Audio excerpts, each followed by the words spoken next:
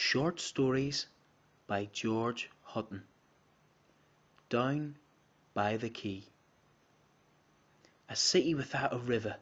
Well, it isn't really a city at all, is it? Nothing clears a troubled mind more than a walk by the quay. Throw all your troubles to the wind and be thankful for everything and offer up the tough times that you had. Oi, Jimbo! Fancy a stroll down by the quay to the Maritime Festival? They've brought replica pirate ships. Oh, do grow up, Davy.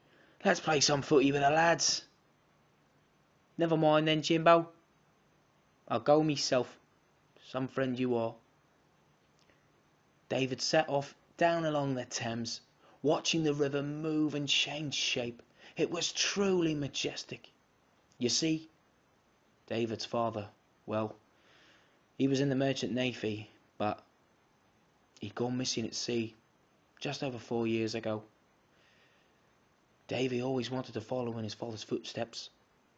Wow! Check out those sails! There were naval ships, merchant ships, gunships, fishing boats, jet skis. David loved the Maritime Festival. But this year he wanted to see the pirate ships. All aboard!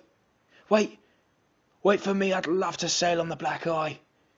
Even if it is only for fifteen minutes. Ha, so you think, wee lad. So you think. Jump on then.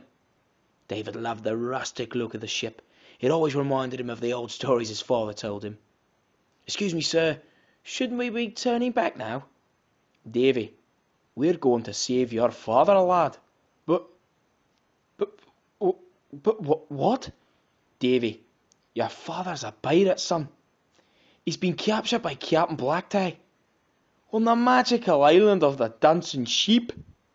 What? Right, right, that's it. I'm firing the cops. You're Mar, Marzanetta.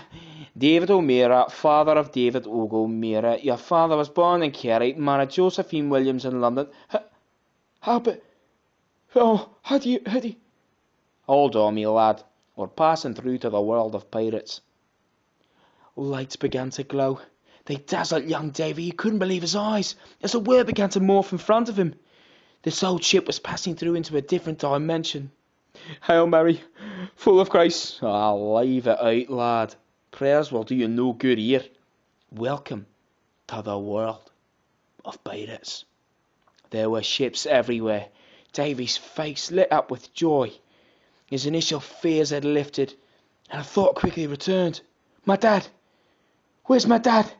We're, we're heading straight to the land of dancing sheep now, lad. And only you can rescue him.